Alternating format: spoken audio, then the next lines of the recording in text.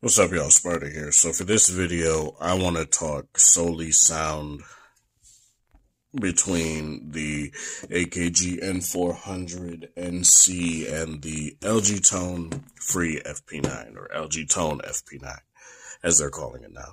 But um, um so this isn't to completely say one is completely better than the other or anything like that. This is me just comparing it from how I hear it with obviously my ears between two earbuds that I like quite a bit. And um, I'll just get this out of the way now. Both of these have an app. Both of these can be EQ'd to your liking. Um, I'll just show you guys how each look here real quick. So I'll go to the AKG app first.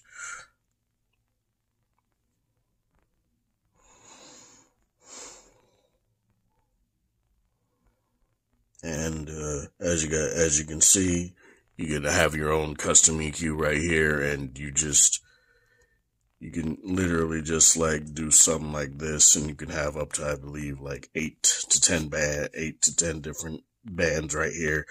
And I haven't tried it. I haven't seen how well they work with EQ, how well they respond, but I've heard from, you know, other reviewers that have tested it that they respond to EQ very well.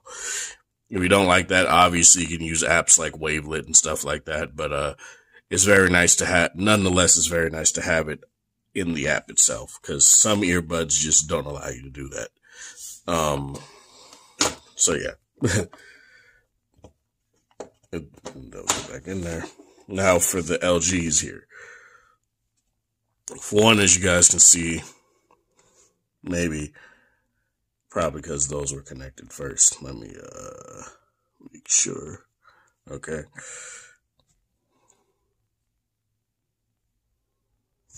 Okay, let me do this. These apps don't like to respond well when you have multiple earbuds connected at the same time, so let's do this one more time. There we go. And the key thing that you'll see different between the AKG app and the LG app is that it actually gives you a battery indicator on the case. Due to the fact that these only have one charge in the case, it's not that big of a deal. You'll basically know if you use all six to seven hours of one earbud, which is tip, which is obviously going to be the right earbud, you're going to be getting that full charge back when you put it back in the case, and that's all you'll be getting. Um, as you guys can, and this isn't what I was meant to do. You also have five different EQ presets right here. 3D Soundstage I would solely use for things like movies. I wouldn't use it for music. Some people like it for music. That's totally fine. But for me personally, I just don't like how 3D Soundstage kind of things respond to music. It just doesn't really sound all that right. Bass boost is how these will come out of the box. So if you like that, it'll be there, but I probably would advise you to go to the immersive mode because the bass boost sounds a little bit weird and it sounds a little bit too bloated. The immersive mode has the best bass response out of all of these. And uh, the treble, obviously, for things like vocals and all that stuff, too. You have two different custom EQs that you can set right here as well. Um, if it'll respond to me. um, I haven't set anything, but you can set it. It has one, two, three, four, five, six, seven, an eight band EQ here. And that's very nice. It also is the phone, uh, the earbuds also respond well. Save your phone has its own EQ options, like LG phones have, for example, um, you can just utilize the baked in equalizer within that to set it to your liking there too. But if you want it here in the app, it's right here. And that'll carry over to say other earbuds like Tone FN7s, things like that, if you have older earbuds. So it's very nice. Um, I guess we could talk about voice alerts when it comes to sound too. These allow you to have voice alerts, so you can hit this, go into the notification settings, and you can pick whichever app you want to have notification settings. Some people have said apps like WhatsApp don't work very well with it. Probably it's probably a WhatsApp thing. um, I've had no problems with things like Google Chat, Facebook, all those other all those other kind of apps, it giving me notifications. But I tend to have it off because it's a bit annoying and it tends to lower what I'm listening to. So that's something that I just don't have. You have a touchpad lock, so you can lock, obviously lock the touchpad.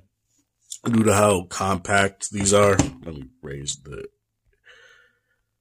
due to how compact these are, I would say these are probably going to be good for side sleepers if you want to do that. If you tend to listen to music with, or listen to stuff with earbuds in, I feel like these are fairly compact. And now that you can lock the touchpad when you are going into obviously a sleep, obviously going to sleep, you won't worry about it interacting with your pillow. I don't have any problems with it interacting with things like hats or anything like that, regardless, but pressure might also be something you'll have to take into account when it comes to that. Um, these also have a game mode. This doesn't have a game mode, but that's something that uh you're gonna have to you're gonna have to pick and choose whether or not you want it.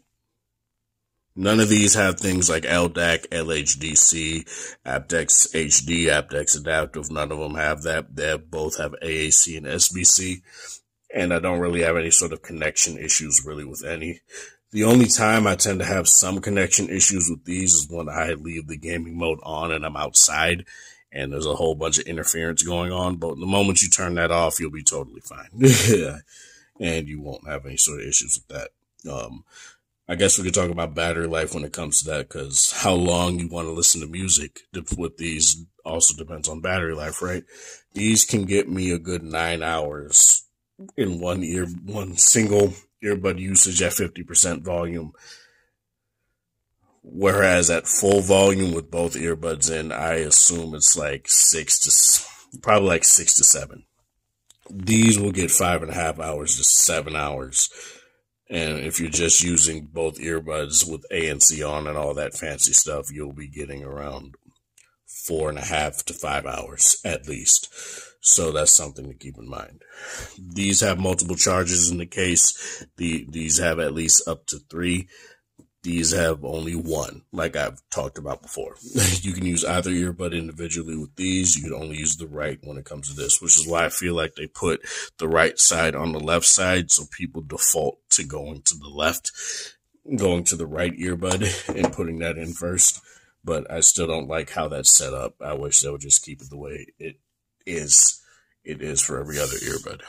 So let's talk about sound. I'm going to get into the music that I'm that I've been using and other things like volume levels, things like that.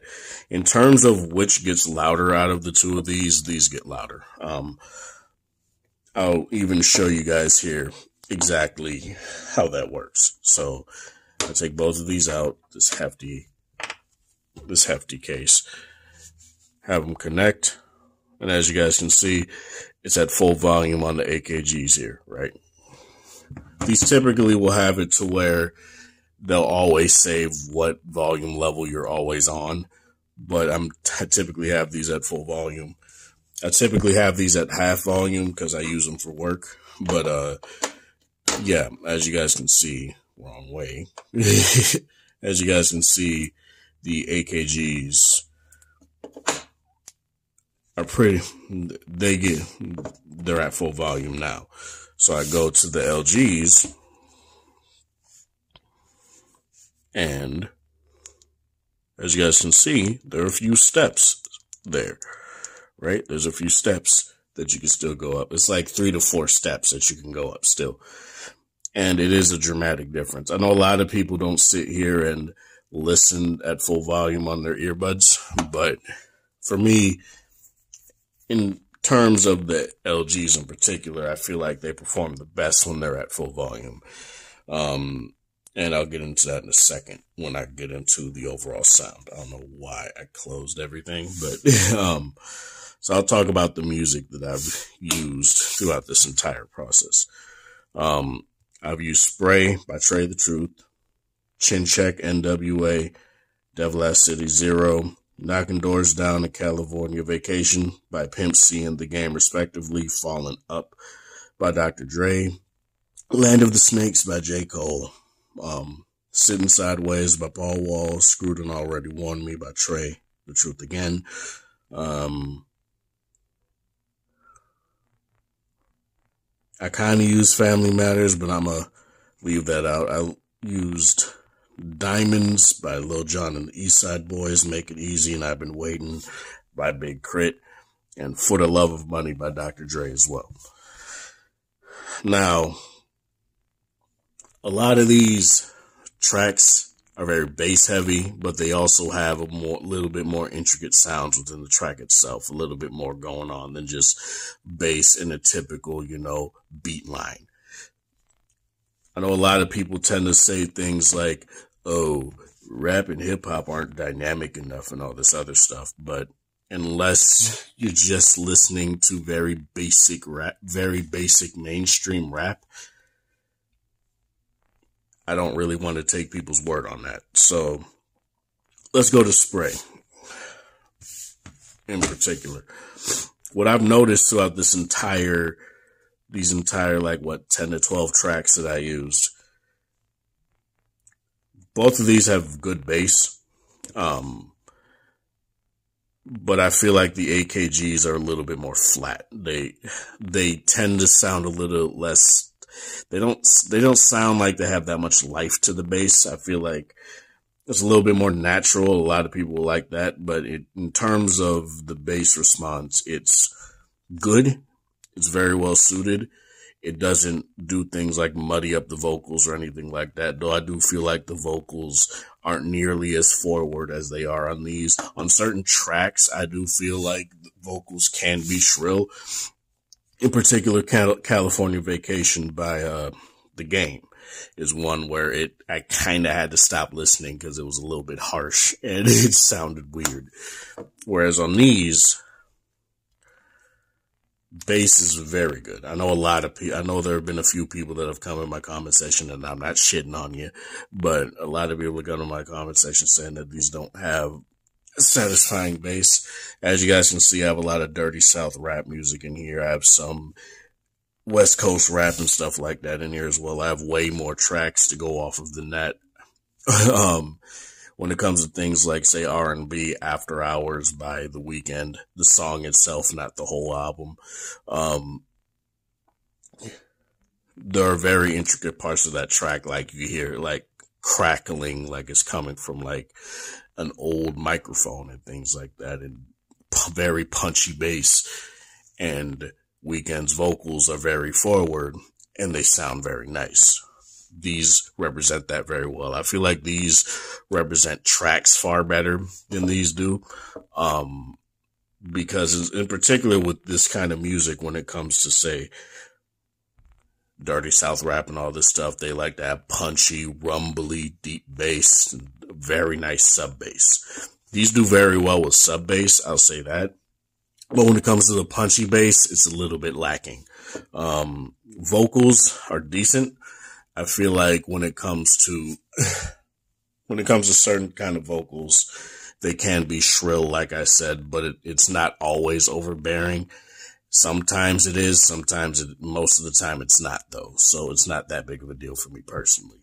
When it comes to a track like Land of the Snakes by J. Cole, I mainly use this track because what I noticed when it came to headphones like the, the WF1000 XM4s, the Sony's, um, it made the first, it made the first line J. Cole says, this is the shit I used to roll down Lewis Street with, sound very muffled. And I didn't like the warmth that came out of the Sony's.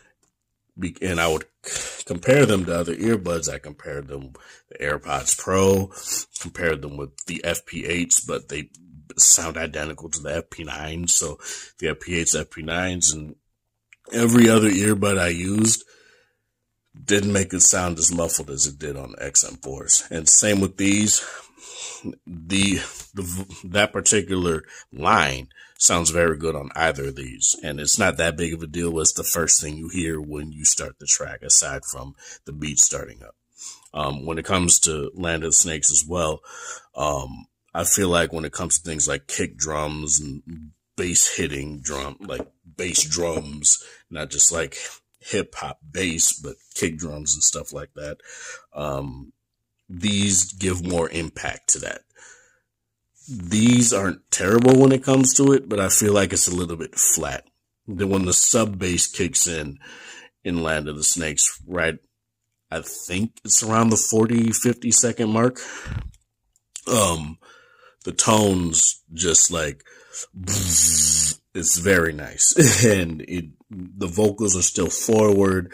The vocals don't get muffled. These are definitely better at left right channel separation as well. Um, these are definitely wider. Um, I feel like in some tracks, these got a little bit claustrophobic to listen to. It wasn't terrible, but it, in terms of width, I guess it just ultimately comes down to the fact that these are tuned by that wide sound stage and all that stuff. So that is actually very nice when it comes to these. Um, and it works very well. It worked well with the FN7s. It works well here too. And these are definitely enhanced compared to the FN7s. The AKGs definitely go by the Harman curve. So if you like that, you'll definitely like these. If you don't like overbearing bass, not that these have overbearing bass, but I'm just talking in general. don't like overbearing bass, I don't think these are good. I think these are going to be for you. Um, vocals are the vocals are like a solid seven, whereas I say these are probably due to the fact that these are a little bit more forward. I'd give these like an eight, maybe. Um, and they don't get muddy. Neither of these muddy the vocals or any more intricate sounds in the track. Um, they're both very good in terms of that. What I'd say though is like certain tracks, yes, these can get a little bit shrill, but it ultimately depends on the artist. If the artist has a high, has high vocals, like say a Lupe Fiasco or something. I don't really have problems with these in terms of that, but in terms of these, um, like I said, the game was a very much, it was a very good indicator of, I don't really like how this sounds. and, uh, that's all I really got to say. Ultimately, I feel like both of these are very good in terms of their sound. Both of them have a very different kind of sound. If you're looking for bass, I don't know. I may be crazy, but I feel like I tend, I'm the only one that has a pair of FP9s with actual bass. I don't know. Maybe people need to check their library, check their music libraries and put in songs that have bass in them. I don't know. But in terms of what I've listened to, you can hear the tracks that I literally, literally listed off here. In terms of their bass, let's say Spray is definitely one that you should go to. Another one by Trae the Truth is, uh, Woke Up This Morning off the, uh, Street King album, I think. Chin Check is not like a super bass heavy track, but it has bass in it. And I feel both of them do a very good job at representing that it's not heavy bass, but it's a bass that's impactful and it's more, definitely more impactful on these. Um, Devil Has City is another one. Knocking Doors Down is definitely one. Oh yeah, I use Falling Up. Falling Up is definitely one I would use. And that definitely has a bit more of the vocal issues that I've had with that game song on here too. So ultimately what I would say is this. If you like bass, I would go with these. If you like bass and also want good vo- good vocal representation and all that stuff, I would definitely go with the tones. Uh, because they just do it better. Like, I don't know what else to say. Um, they have better left right channel separation. They're wider. They don't feel as claustrophobic. But the AKGs are definitely no slouches. I'm not trying to say that. You say LG taking on a high end audio company that doesn't sound right. I was like, you got to keep in mind that LG, these are also tuned by a high end audio company. So, so, like, what do you want me to say? Like, it isn't like I'm just getting a pair of HTCs, pairing them against them and say they're completely stomping them.